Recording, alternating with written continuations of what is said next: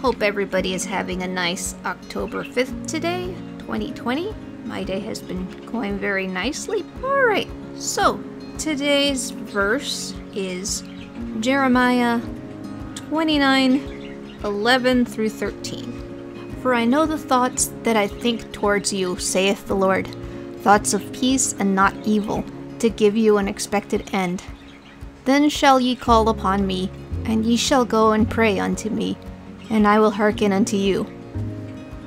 And ye shall seek me and find me, when ye shall search for me with all your heart. And the prayer for today is Father, we know that your heart's desire for us is to be at peace with you and with those around us. Place within our hearts the desire to live for you and to listen to the leading of your Spirit. Let us diligently search for you. Open our eyes so that we might see what is good, honorable, and just for this country, for the well being of all people. Alright, hope you guys have a good one. In Jesus' name, amen.